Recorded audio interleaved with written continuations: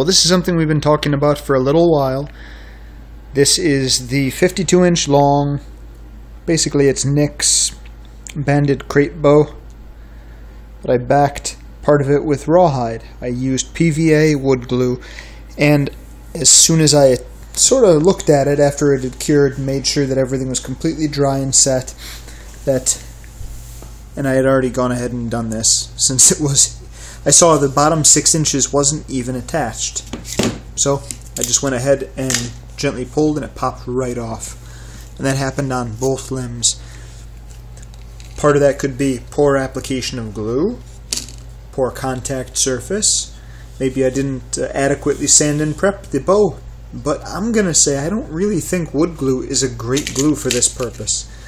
Would it work? Maybe, but for me and right here and now, it did not work. Unfortunately, since the rawhide is now covered with glue, I can't give it to my dog.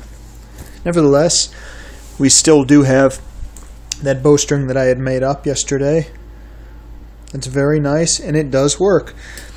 So I can go ahead and I can string the bow and show that to you. Right now the string's a little bit on the long side, but Mehmet suggested not to twist the bowstring, but I believe that's mostly just to keep a constant length of the string.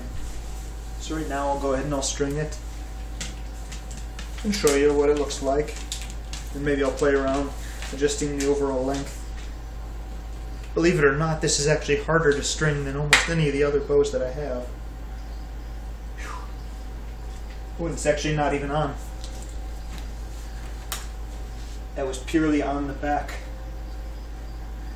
Since when I went ahead and made it, I didn't go ahead and pinch the two. Oftentimes, what's good to do is if these aren't touching, I'll pinch them. They support each other, then they'll be a little bit stronger. But just to get it strong, I wanted to try that. There we go. There we go.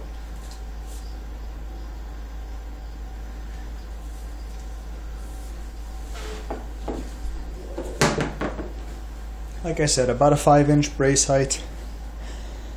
Efficiency wise, it's probably almost perfect kind of like to go out and try and shoot it right like it is now and see if it's substantially different from the, the ones that I had made earlier.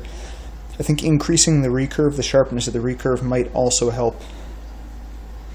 So I'm going to go ahead and, well, maybe try that. I could heat it up and give it another shot. Since it's not going to be good for the rawhide backing, at least we'll get some fun out of it.